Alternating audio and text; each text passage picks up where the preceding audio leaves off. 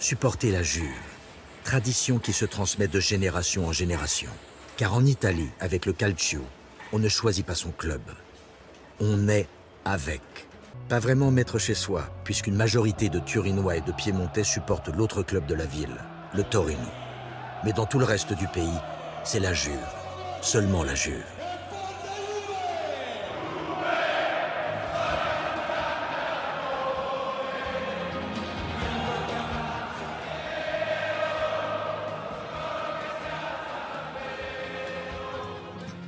À tous les amis, vous venez d'écouter un extrait audio d'Audible qui sont des documentaires audio concernant des grands clubs de foot européens.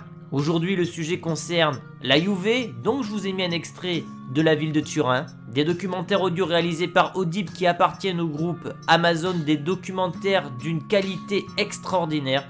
J'ai eu personnellement la chance d'écouter les 10 avant de vous en faire la promotion. Cela regroupe plusieurs grandes villes européennes, plusieurs grands clubs, notamment Istanbul, Dortmund, la Juve, mais aussi Liverpool. D'ailleurs, concernant Liverpool, le lien vers le documentaire audio est gratuit, je vous le mets en description. Et si vous êtes passionné de football, je vous invite à l'écouter, vous apprendrez plein de choses très intéressantes.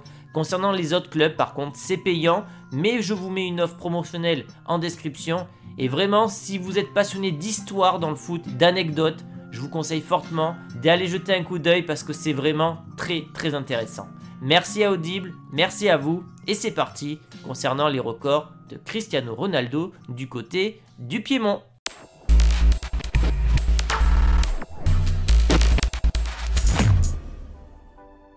Cristiano Ronaldo, homme de record, de statistiques, toujours en quête de se dépasser. Son passage légendaire du côté de United a laissé le numéro 7 maudit pour quiconque l'a porté.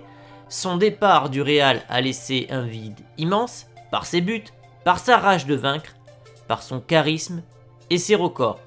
Parti en Italie pour conquérir un troisième championnat, le Portugais n'a pas mis longtemps pour marquer les esprits et s'attribuer des records avec les Bianconeri. Aujourd'hui, je vais donc vous présenter les prouesses du Portugais du côté du Piémont. Et à peine deux saisons avec la Juve, Cristiano décroche déjà des records qui étaient intouchables depuis des années. L'un d'entre eux, c'est lorsqu'il marque son 25e but en championnat face au Torino la saison passée. Le Portugais arrache ainsi un record qui était intouchable depuis 1960. En effet, il faut revenir à la saison 1959-1960 pour trouver un attaquant aussi prolifique, à savoir Omar Le Portugais est donc le premier joueur de la Juventus à avoir marqué 25 buts lors d'une même saison en Serie A depuis 1960. Record qu'il a même poussé jusqu'à 31 buts en 33 rencontres et 30 buts en Serie A avec la Juventus, ce n'était plus arrivé pour un joueur des Bianconeri depuis 68 ans avec le Danois John Hansen en 1951-1952. Il s'est donc arrêté à 31 buts en Serie A, égalant donc Félix Borel, une autre légende de la Serie A. On parle donc d'un record de plusieurs décennies. Le prochain que je vais vous parler se compte quasiment en siècles. 94 ans, le record est tombé. Ferenc Herzer avait marqué 35 buts, toutes compétitions confondues avec la Juve. Le Portugais a porté cette prouesse à 37 buts. C'est donc le nouveau recordman du côté de Turin. 37 buts, toutes compétitions confondues avec la Juventus. 94 ans qu'on n'avait pas vu une telle prouesse. Nous sommes le 20 juillet 2020. Face à la Lazio, Ronaldo inscrit un doublé, donnant la victoire à la Juventus 2-1. Il inscrit alors, lors de cette rencontre, ses 50e et 51e buts en Serie A. Il devient ainsi le joueur le plus rapide à atteindre la marque des 50 buts.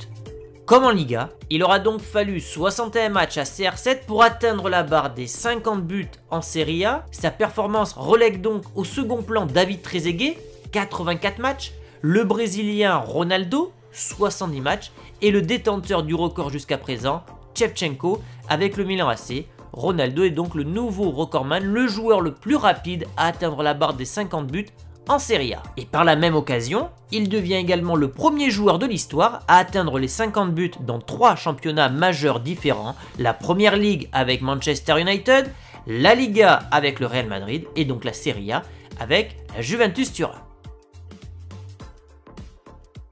11. C'est le nombre de matchs où Cristiano Ronaldo a marqué consécutivement en Italie. Seuls deux joueurs avaient fait cette prestation, Gabriele Battistuta, la légende argentine, et Fabio Quagliarella il y a deux ans. En plus de marquer énormément, Ronaldo est donc très régulier dans sa quête de but infernal.